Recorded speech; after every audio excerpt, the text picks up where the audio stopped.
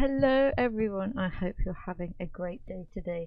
So today we are making a more traditional type of house than the ones that we have been making over the last few weeks. So it's inspired a bit by some of the American looking houses where you have the porch out the front and it's all wooden and sort of co- not colonial, but that type of type of style. so I thought the best way to start off with this house would be to put put the foundation on because I wanted to just have a little a little be raised up a little bit just so it's off the ground and I wanted to have a lot of landscaping and stuff in this build as well so it is a little bit different than the UK houses, but it's it's quite big on the bottom anyway. But the the top's a little bit smaller. I think there's three bedrooms all together. So we've got a kind of a master bedroom, a kid's bedroom, and then sort of a guest or a mid mid-aged bedroom as all the bedrooms seem to be one for every every type of sim that can possibly be. And it is very exciting watching all the the ea play stuff with the new island expansion pack which looks really super fun. And i cannot wait to play that at the end of this month. It looks super cool. And especially as i haven't ever played with island stuff either so it'd be interesting to see how how all the island islandness happens. Hopefully, you can actually have like a jet skiing skill or something, a bit like the bowling skill or something. I don't know quite how how the jet skis are going to work, but I'm super intrigued to find out if you can ride them. Obviously, we've got the mermaids as well, which looks super cool, especially as we're going to be getting a magic pack as well. I did love making, when there's making magic in The Sims 1, that was always super fun. And trying to curse people around the town and stuff is always good. So it'd be interesting to see what they actually do with the magic stuff because they always said that they weren't gonna do a magic pack and then oh October magic. It'd be super fun. It depends what they do. If we're just getting witches and wizards or whether we're getting like more than just that whether we're gonna get some some different type of magic more like Harry Pottery type of magic or whether we're gonna have new career in the magic. That'd be quite funny whether you could be like a proper sorcerer or you're like a magician. and you can have different scales. That would be quite funny. Where you like your first gigs are like going to kids' parties. That'd be super funny. and then you have to work your way up to being like sorcerer supreme. Ah, uh, you have to start somewhere though. Not everyone can swan off to Nepal together, get their special powers. and we finally put the roof on this, this house. It took me a while to sort out what type of roof I wanted to go for, but we've got we've got one that kind of connects all the way through. I kind of wanted to make the upstairs because though it's quite built into the roof as well, so it's not like huge monstrosity on the top is kind of nicely settled in. I think the the little balcony bit helps with that as well, and tried to make it have some traditional features. Obviously, all the stuff from cats and dogs is perfect for this type of build, and all the windows and stuff as well. We've got a few big windows about, and I thought it'd be quite nice to make a little feature of the the bigger upstairs area and have one of the one of the nice windows, the three windows to go on the top, even though you can't get up to that part or it's not it's not even usable, but it does look nice, and we are all all about the aesthetic of your the outside of your house. Probably some of the windows don't match up in like height as well either, because I was trying to use the the alt key to put them where I wanted to. It's quite nice to use some nice big windows as well. So the house itself is going to be there's nice stone stone grey and light blue as well, which works quite nicely against the grey. It makes it a little bit more, a little bit more lighter. And we've got obviously we've got a nice big driveway. Planning out where we want all the stairs and stuff for the back garden as well. And we've got this. I wanted to have a, a gazebo outside, especially for seasons players, and obviously we're getting more water and summer stuff coming soon. So it would be good to utilize the outside space as much as possible. There's going to be a pool outside as well, so it is, it is a very in using the outdoors and the indoors in this house together. and we also have a front, a nice little front garden as well with lots of flowers later on. So I'm going to sort out the inside and make all the different rooms. It's quite a like a bit more of an unusual layout to what I normally do, but obviously I was trying to go trying to go for a little bit of an older house, so it's a little bit more higgledy piggledy than I would normally normally do, but I think that makes it a little bit more interesting. You here you can see how small the upstairs actually is. So we only get a few a few rooms and a bathroom up here as well. But if you're only playing with a few Sims, then it's a all you need upstairs really is the bathroom and some bedrooms. So you've got everything you need downstairs. And using some of the Strangerville banisters and all sorts of fun stuff like that as well, which is one of the reasons why I wanted to do a more traditional build because I actually haven't used them properly in a build yet. So it's always fun to have some, some Strangerville stuff. I've had a super busy weekend last weekend going to stay with my friend and we did gallery talks and we went to Greenwich to look. There's a certain place in Greenwich where you can go down onto the beach area. If you've got a if you've got a proper license you can go looking for some of the artifacts that kind of wash up on the shore.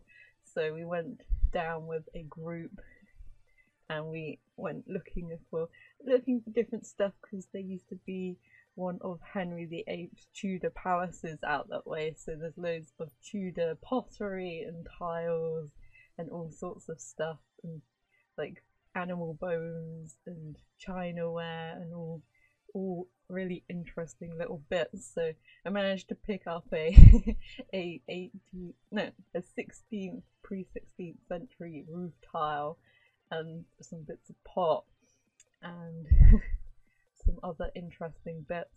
And there's quite a few few people there as well, so it was a really nice sunny day. So it was a good day for going going and doing that sort of thing. But now with all the socializing, I am like literally exhausted and don't want to see anyone ever again until the next week, which is very funny.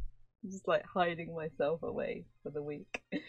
I may go out, may go out late, like today or tomorrow or something. I'll have to do something by the end of the week, but you always should should rest up, get some rest after you've been adventuring and exploring about different parts.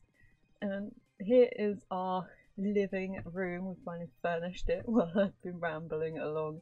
We've got a living area where the stairs are, and then we've got a office area where the where they I kind of imagined that they've knocked the wall down, but they kind of had to keep the supports up for the upstairs. So we've got this nice little cut cutaway area for the study, but we've still got like the pillars and the beams across to kind of separate it off a bit so it's still its own unique little room, but it's obviously very separate from from the actual living space as well. And everything's quite quite small and compact in this house, considering the the start the size of it. And then in here we have a kitchen, living, and dining space. So because it was a a little like an L-ish shape, I thought it'd be quite interesting to have the kitchen in this little nook part and have the fridge around the corner. So obviously we've got some big windows and stuff and I wanted to use those more for sitting and uh, viewing stuff as well. So I thought the kitchen would work quite nicely tucked away here. It means also that your Sims can be like cooking stuff separately to whatever's happening in the rest of this room. We've also got a bathroom over to the left. I always have to remember which which way it is.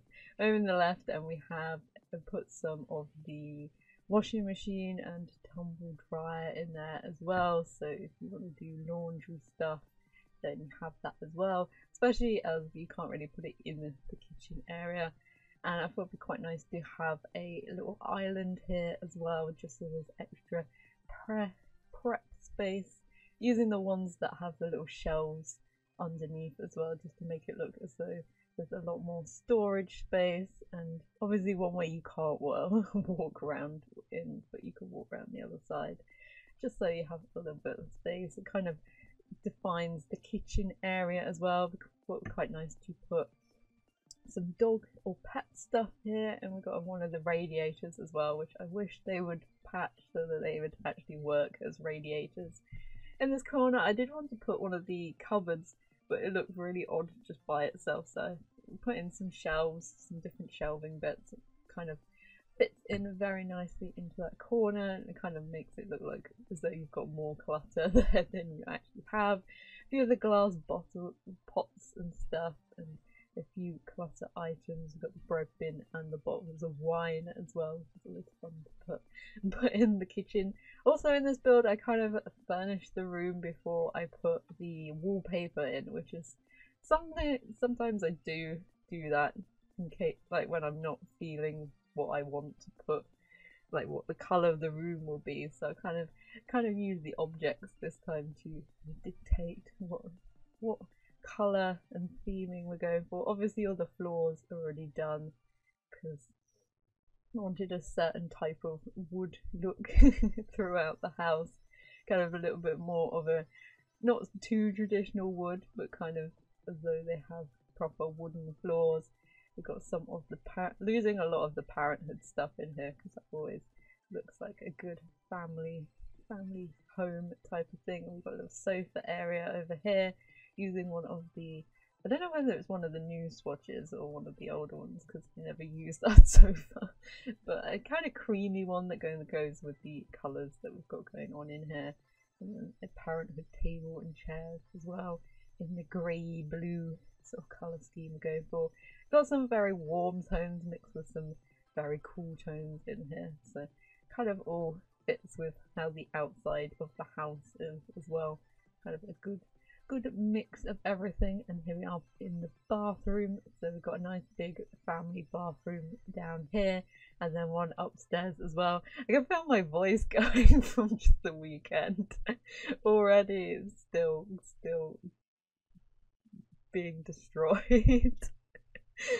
Uh, it's no wonder I don't like start falling asleep at the end of this. We've got the washing basket in here next to the shower and a the toilet and stuff. I used a little bit of a cheaper toilet in this build because the others just didn't feel right to me. Needed a certain certain looking toilet in this build, and a lot of the. It took me a while to find some some tiles that I wanted, and I wanted the matching skirting board, and I was just like, I'm sure I'm sure there was one that matched this with just a plain wooden bit and the, the thingy on top. So I'm trying to find, like, go through all the swatches, and in the end, I had to switch on the the actual like pack so I could find it. And I was just like, oh, that's that, that's my favourite colorway on that on that Caribbean swatch. It was such a tease for what we're going to be getting like they did that pack like perfectly and then here I am finding the right one that matches which goes with the rest of our colour scheme that we have about the place using that nice peach colour everywhere as well with the white which kind of goes with all the white doors and all sorts of stuff around the place. So in our our hallway upstairs we've got a nice old clock now we've got a little bit more of a modern cabinet as well.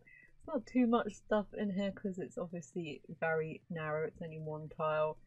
at the stairs itself, but we've got kind of a wider bit here, so it's a good place to pop a table in and some decorations as well. I've never used that pig statue yet, so I was just like throwing in items that I don't normally use. And I've got a nice, nice little rug as well, but it's just just a nice little transitional space. The lighting in here was like really bizarre. I don't know why that wall constantly wanted to be black, but it did. In the screenshots you'll be able to see it better because it doesn't doesn't go that color when you're in the in the mod that I use to go into tab mode while you're in build mode. So that wall, that wall is is all right. In here, we're going for a very green and dark wood, sort of natural theme in here, just to contrast with everything else, all the other colours and stuff. I love putting the the new like notebooks about the place as though people have been writing diaries or doing notes and stuff by their computer. I think we need more objects like that because it's super makes it look really lived in as though the Sims are actually like kind of living. just said that, it makes it more lifelike than just having like closed books about the place because normally like you leave magazines and stuff open or you've got your like coffee table book that you kind of leave open just to make yourself look a little bit more fancy than you actually are. And then trying to pick trying to pick a nice wallpaper, a nice grey stripy one. I always forget about all the colourways on that wallpaper. It's always always forget what we actually have. We have so much stuff now that I can never remember. never remember. And also in that bedroom we have a built-in wardrobe as well. That is our that's our master bedroom enough what they'd need. A little bit more storage than normal. In here we've kind of got our our transitional bedroom. Maybe it's a guest bedroom or it can be teen, young adult bedroom. And kind of going for a, a minty and more oh what's the word? Can't remember the wood. Uh beech or something like that, birch wood or something. trying to think of like Minecraft trees, which is so bad. I haven't played that in ages. We got a nice built-in desk and shelving area. We got an Alexa as well up here. Could probably set some of you guys off if you have it. It's like they they spoil tease the one of the questions for the Sims game on the Alexa and people are like, "What? We don't have this pack yet. What is this?" so that was quite funny, and we got a few few cushions about. I made sure the side table was the same color as the the rest of the furniture in here. I think we go for a nice like yellow wallpaper just to go with go with the minty green and stuff. It was quite nice to put a lava lamp in here just to just to make a little bit more of a different color in here get some pink. And it does does not doesn't look as pink once we get the wallpaper and stuff in. We got some of the, the nice sheer curtains as well and it's always so hard to put the curtain where you want it to so I like I have to move the I have to move the window otherwise I can't get it on it's always a good tip if you can't put your curtain where you want it to Just move that window, remember where it goes. Then in here we have a kid's bedroom, so we're going for a green, green minty theme in here, just to make it make it a little bit more themed than the other minty bedroom, which isn't which isn't so minty, but they've the kid obviously wanted to go extra extra minty. I wish I did something interesting in here where I put used a little like nook we have at the front as a little craft area. Kind of imagined that it used to be a bathroom or like a wet room or something, and they turned it into a place where their kid can make as much mess as possible. So I put tiles in it and actually make it into a little chemistry area so they your child can go in there and explode everything and do not make too much mess because you can wipe the tiles down once they're finished. Just quite a fun, fun thing to do. We'll put some blinds up as well because it's this that bedroom has a lot of big windows, but then it is quite quite a dark, long space. Quite an unusual shape for a bedroom. kind of more a box room. and then we've got a master bathroom here again with double sink and a built-in shower and stuff as well. So at least if someone's downstairs, then we can use the one upstairs. And then we worked on our garden area. So I thought we needed a great seating area under the bow under the little gazebo area. So we're using the seasons seating stuff. And obviously because we've got diagonals, it was perfect for the diagonal seats as well. Using the matching sofa for the the other opposite one so you can Sims can properly chill out along there. We've got a barbecue and we've also got another little seating area down the other side as well. Kind of separate the garden into like three sections. We've got the, the patio area and gazebo, kind of like the social area.